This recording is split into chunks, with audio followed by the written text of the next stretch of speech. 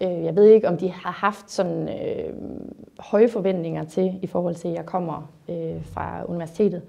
Jeg tror bare, de har øh, tænkt, at de vil se, ting, øh, se tiden anden og se, hvordan jeg bliver integreret, en integreret del af virksomheden, og så vil de tage den derfra. Hun har jo primært været en kommunikativ øh, medarbejder, som har udført øh, en masse opgaver med at øh, orientere vores, øh, vores store kunder øh, med vores produkter, udarbejde, lave produktkataloger, øh, lave vareoprettelser og, øh, og øh, passe vores webshop og have al kommunikation til, øh, til vores webshop-kunder.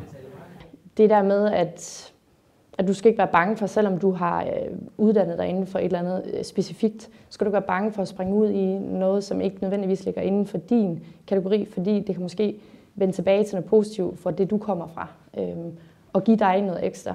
Øhm, det, det tror jeg, det, det er en af de vigtigste ting, jeg tager med fra Det, jeg synes, det, det lå meget lige for at prøve øh, en, en, en, øh, en, en medarbejder, som også havde en, en, nogle års boglig erfaring. Jeg tror, at ting, jeg tager med øh, fra jobbet, det er, øh, det er elementerne i at være selvstændig, øh, og hvad det kræver at være selvstændig, og øh, hvad det er for drive, du skal have for at drive din egen virksomhed. Øh, jeg synes, at det 100% kan betale sig at tage et år, selvom det er tidsbegrænset, eller det er tre måneder, eller hvad man nu vælger.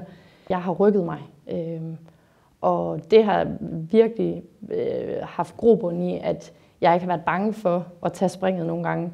Selvfølgelig, altså vi, vi, har fået, øh, vi har fået erfaring med at arbejde med en øh, akademiker, og, øh, og øh, jo fundet ud af, at det, det fungerer øh, rigtig godt i, i virksomheden. Så, så det har jo været en prøveperiode for os, ligesom det har været for Mia, at prøve at lære en lille virksomhed at kende. Så det synes jeg da, det er, det er, det har været en god oplevelse. Absolut. Så. Jeg er helt sikker på, at nogle af de kontakter, jeg har fået igennem det her forløb, det vil hjælpe mig på sigt. Så jeg har ikke følt, at den begrænsning af, at det har været et år, det har været en begrænsning for mig. Det har bare været en mulighed for mig.